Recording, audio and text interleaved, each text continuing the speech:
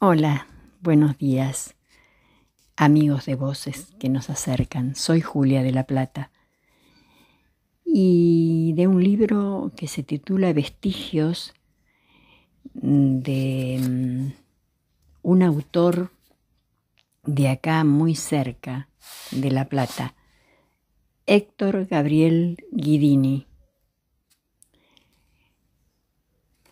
De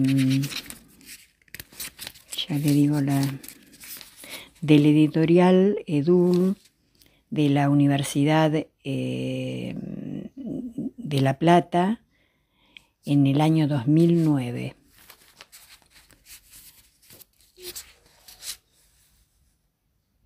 Héctor Gabriel Guidini nació en Berizo, provincia de Buenos Aires, en el año 1944. Es profesor de filosofía fue docente e investigador de las Facultades de Humanidades y Ciencias de la Educación y en Bellas Artes. Muchos trabajos han sido difundidos por distintos medios gráficos, radiales y televisivos. Y elegí un poema que se titula Siempre un pañuelo azul. Y dice así. Siempre un pañuelo azul envuelve las partidas, como un pequeño cielo entre las manos y espera del camino, la armonía de aromas y de fango, como nubes nacidas del fondo de la tierra, más las idas y vueltas del esfuerzo alrededor de alguna flor perdida, entre los brazos que acuñaron sueños y entre los hombres que sumaron pasos. Cada viaje esperanza alguna meta y cada meta expresa algún retorno.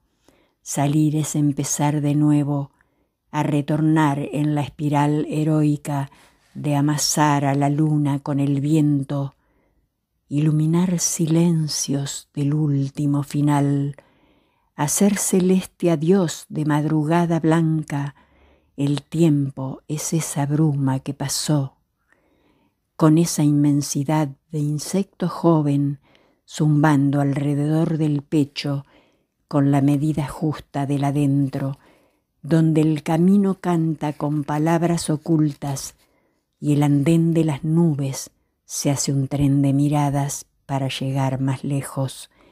Me llevo y me desdoblo a mí mismo y al aire somos como dos puertas al desierto somos como el regreso de la tarde.